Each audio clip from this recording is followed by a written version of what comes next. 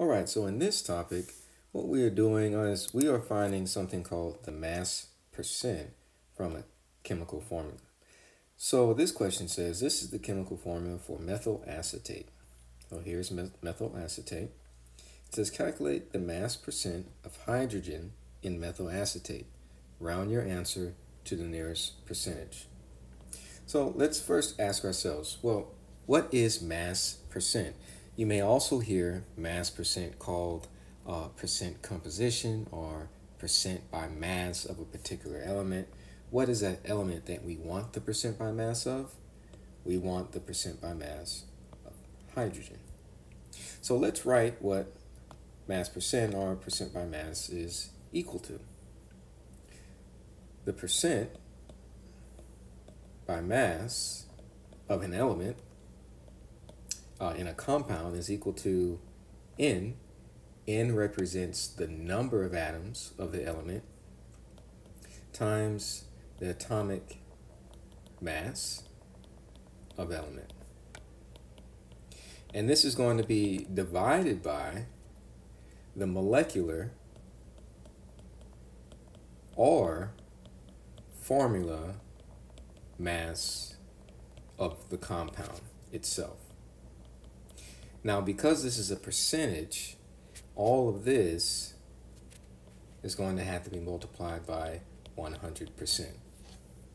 So, again, the percent by mass of an element is equal to N, and N is the number of atoms of the element in the molecule or um, compound, um, whatever we have. So here we have a we have a compound. And what is the element we're looking at? Hydrogen. So the number of hydrogen atoms in this compound times the atomic mass of hydrogen. And hydrogen is our element, so this is of an element, any element in that molecule uh, or compound. And all of that is going to be divided by the molecular, the, the molecular or formula mass of the compound. And I accidentally wrote of there. Let me just fix that. That should be or. Okay? So now let's plug the information that we have into this formula to find the percent by mass of hydrogen in methyl acetate. Well, let's look and see what we need. The first thing we need is N, which is the number of atoms of hydrogen in this compound. Can we find that? Yes, we can.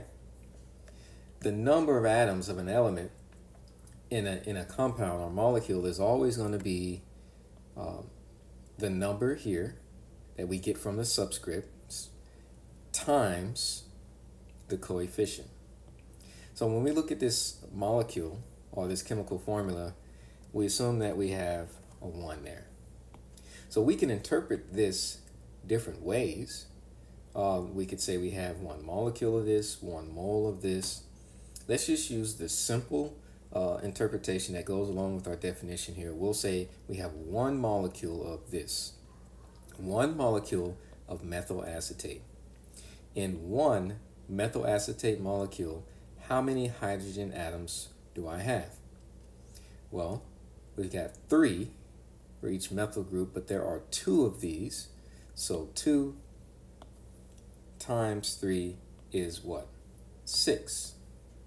So if I have 6 hydrogen atoms, I take that I multiply it by 1, it's 6.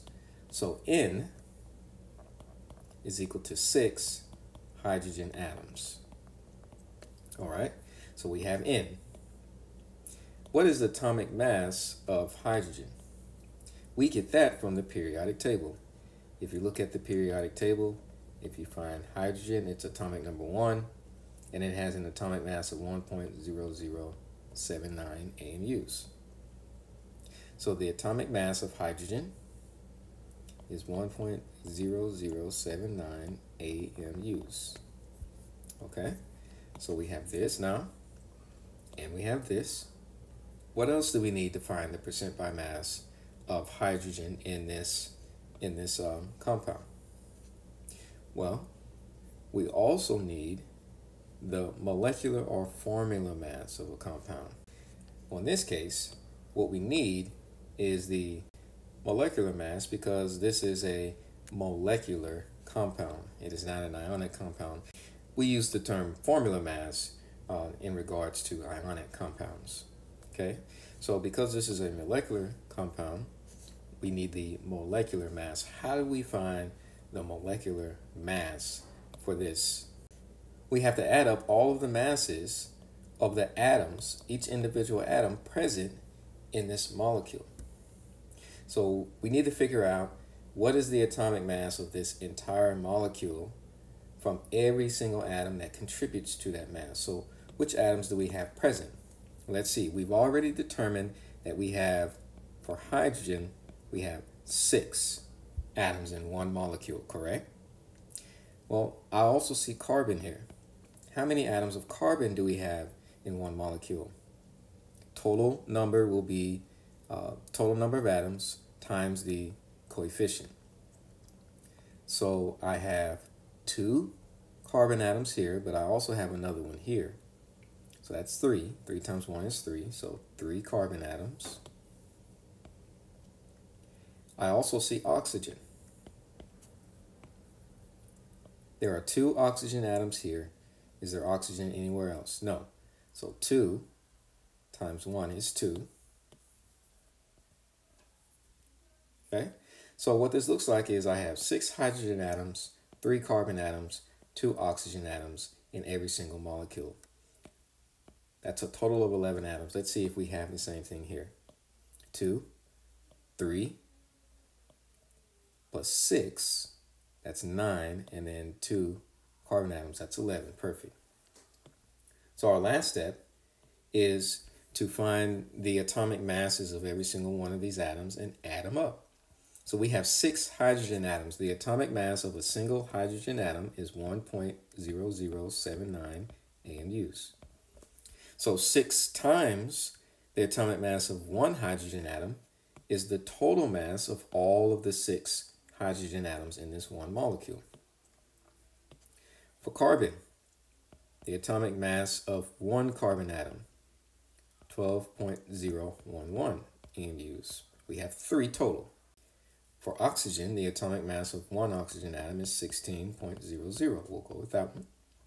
We have two. So if I take 6 times this, plus 3 times this, plus 2 times this, I have the molecular mass of this compound. What is the mass of one of these molecules? That's what I have. So let's do the math.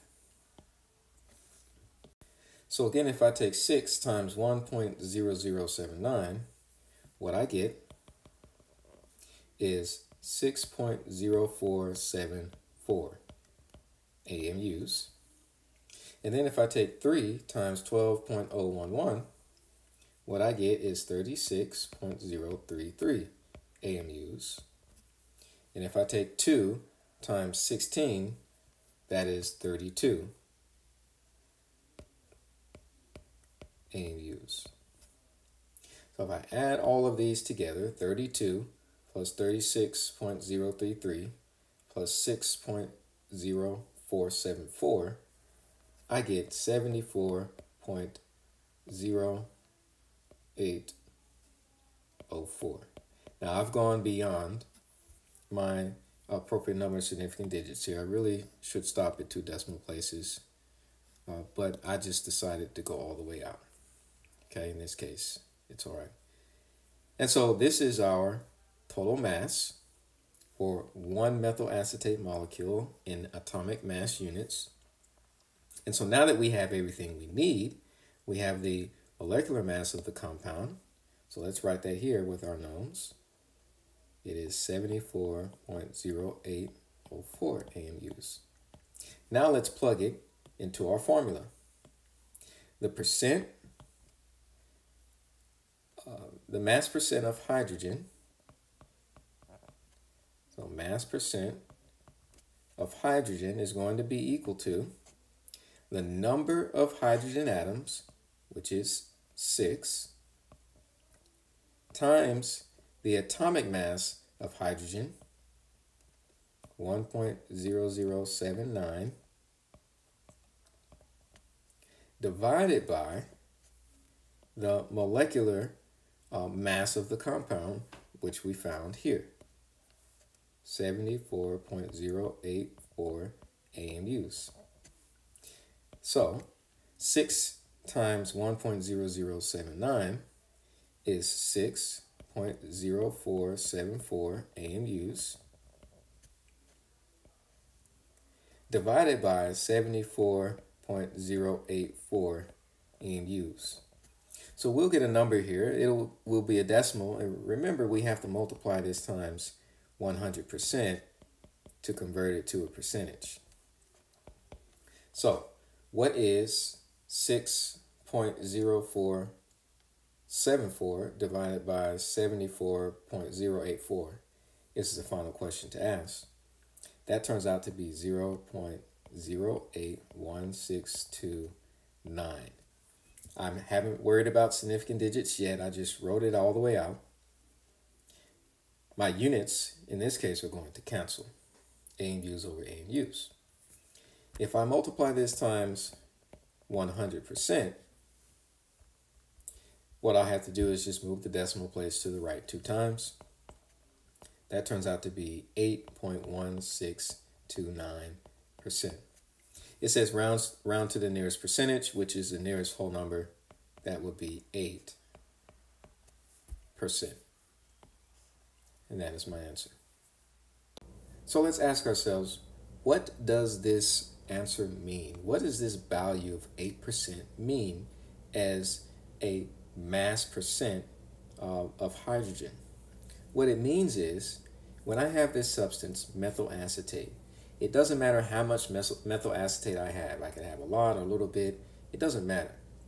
The amount of methyl acetate that I have, 8% of that mass can be attributed to the hydrogen present in the substance.